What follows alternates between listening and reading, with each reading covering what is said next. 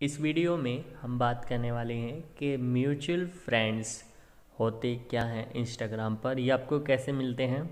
ठीक है, और ये होते क्या हैं? और कैसे बनते हैं ये? ये मैं आपको बताने वाला हूँ तो वीडियो को आप पूरा ज़रूर देखिएगा। देखिए, यहाँ पर हमारा म्यूचुअल फ्रेंड हमें दिखाई दे रहा है एक, ठीक है? ये हमारा इंस्टाग्राम पर अवेलेबल है। अब ऐसा होता क्यों है? ये मैं आपको बता देता हूँ तो वीडियो को आप पूरा ध्यान से ज़रूर देखिएगा। अब जैसे किसी पर्सन को हम फॉलो करते हैं, ठीक है?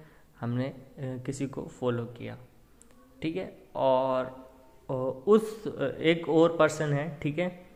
उसने उसको फॉलो कर रखा है, ठीक है?